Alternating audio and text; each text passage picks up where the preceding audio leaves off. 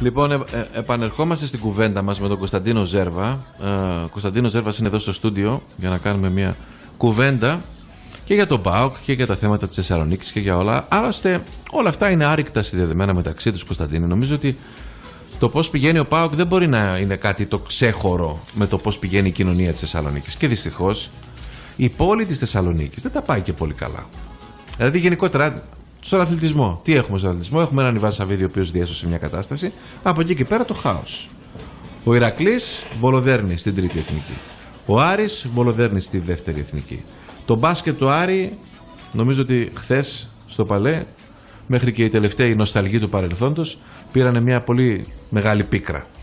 Λοιπόν, από εκεί και πέρα τι να μιλήσουμε, για επιχειρηματικά, να μιλήσουμε για την, για, για την πρωτοπόρα Θεσσαλονίκη σε ποιο επίπεδο; Είμαστε βουλιαγμένοι όλοι μέσα σε μια μιζέρια απίστευτη ρεσί. Για, για ποιο λόγο όμως Κωνσταντίνε, γιατί δεν μπορούμε να ανέβουμε ένα σκαλοπάτι; Τι φταίει, γιατί είμαστε τόσο, τόσο χαμηλά τα τελευταία χρόνια; Φταίει η μιζέρια της Θεσσαλονίκης, όπως λένε κάποιοι από την Αθήνα.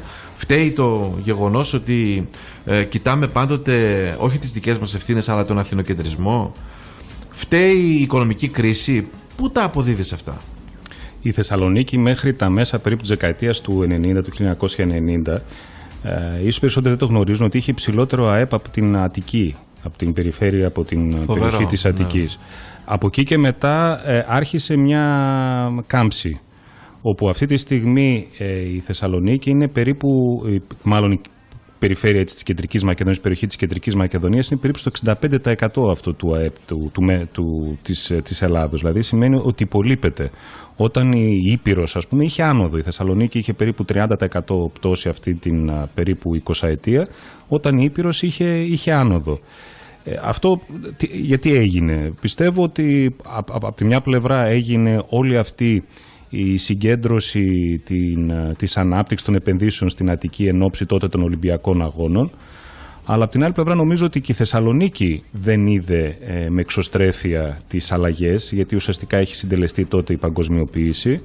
Δεν γίνανε βέβαια και υποδομές που είχε να κάνει με δρόμους, με το λιμάνι, με το αεροδρόμιο, ε, και οι επιχειρηματίες τη Θεσσαλονίκης. Οφείλω να πω και αυτό το πράγμα, γιατί ξέρετε είναι εύκολο να λες πάντα κάποιος άλλος σου φταίει και το, το κέντρο ναι, των Αθηνών. Αλλά νομίζω ότι, ότι και οι Θεσσαλονίκη πλέον δεν ε, είδαν οι επενδυτές, επιχειρηματίες ότι πρέπει να επενδύσουν στην, στην πόλη τους. για παράδειγμα το Μακεδονία Παλάς. Το Μακεδονία Παλάς εκεί ήταν. Θα μπορούσε να το αναλάβει κάποιος από τους Θεσσαλονικείς. Εδώ πέρα από την περιοχή κάποιος επιχειρηματίας. Δεν μπορούσε να είναι στα ζήτητα και εδώ και καιρό για να εμφανιστεί κάποιος απ' έξω. Όσο τα λες αυτά, ξέρεις, θυμάμαι λίγο παλαιότερα που πραγματικά οι επιχειρηματίες της Θεσσαλονίκης ήταν πολύ μπροστά.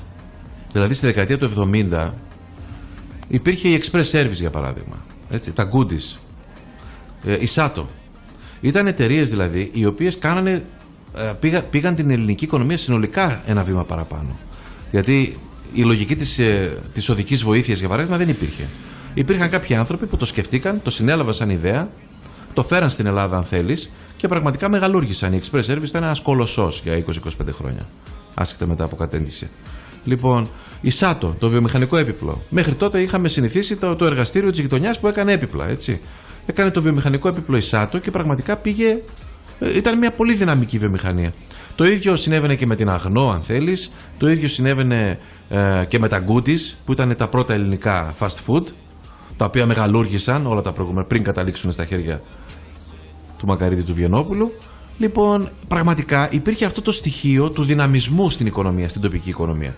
Αυτό το στοιχείο δεν το βλέπουμε σήμερα. Όμως. Και, δε, και δεν ήταν μόνο. Ε, Ανέφερες παραδείγματα που πραγματικά είναι χαρακτηριστικά και, και εγώ σε αυτά θα ήθελα να μιλήσω. Αλλά από τη στιγμή που είπες για τις επενδύσεις, να πω τι γινόταν αντίστοιχα στον πολιτισμό.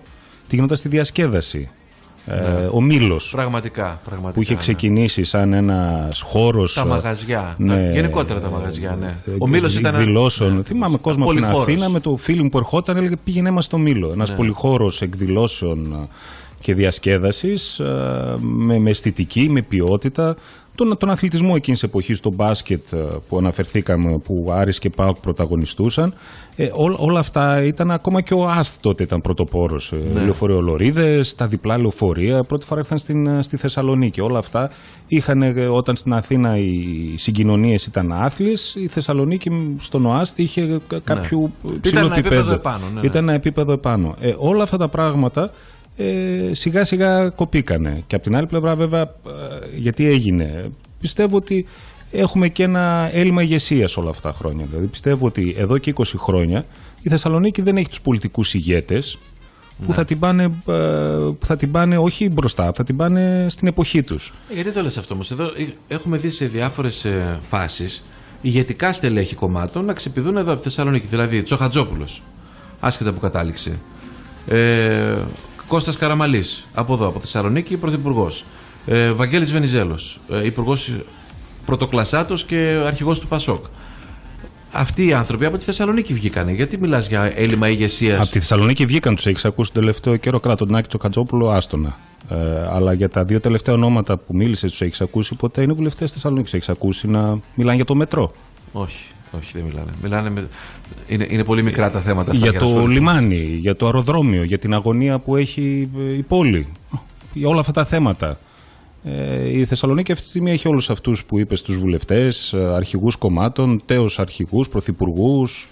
Και ο Σταύρος Θοδωράκη θεωρητικά είναι βουλευτής Θεσσαλονίκης. Καλά, αυτή είναι. Ε, έχεις ακούσει, αυτή έχεις ακούσει αυτοί οι άνθρωποι να εκπροσωπούν την Θεσσαλονίκη, έρχεται, έρχεται την αγωνία της Θεσσαλονίκης; Και ο Λεβέντης, ο Θοδωράκη και ο Λεβέντης και παλιότερα ο Καρατζαφέρης, ξέρω εγώ, παλιότερα ο Παπανδρέου, παλιότερα ε, ο, ο, πόσοι άλλοι δεν παίρνουν την έδρα της Θεσσαλονίκης.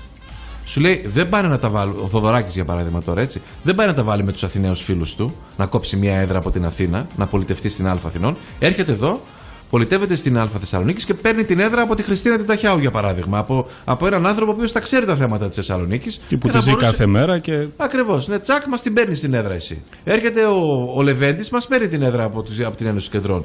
Και ο Σαρίδης, ο βουλευτής της Ένωσης Κεντρών, που είναι και φίλος της εκπομπής και μας ακούει συνήθως, γιατί μου στέλνει μηνύματα. Αλλά, εν πάση περιπτώσει, από την Αθήνα είναι, εκ μεταγραφής. Καλός φίλος τέλος πάντων εργατικός, αλλά από την Αθήνα ήρθε. Τι να κάνουμε τώρα, μην το πούμε και αυτό. Έχω την εντύπωση ότι όλοι αυτοί που αναφέραμε, καλά, ίσως όχι ο Γιάννης Αρίδης και δικός μου φίλος είναι, το, το βλέπω καθημερινά, καθημερινά στη Θεσσαλονίκη. Ε, αλλά νομίζω ότι όλοι οι υπόλοιποι που, ε, για τους οποίους μιλήσαμε χρησιμοποιούν τη Θεσσαλονίκη σαν εισιτήριο. Ναι ε, θυμούνται ότι εδώ εκλέγονται και την επόμενη μέρα ε, ασχολούνται με σημαντικότερα πράγματα. Δεν τους υποτιμώ Τώρα, ο Δήμος Ο Δήμος Θεσσαλονίκης δεν έχει ευθύνη για όλη αυτή την ιστορία. Τώρα έχουμε μπουτάρι. Διαχρονικά έχει ευθύνη. Μην, μην το πάμε μόνο στην τελευταία περίοδο. Μην πάμε με τα τελευταία 6-7 χρόνια.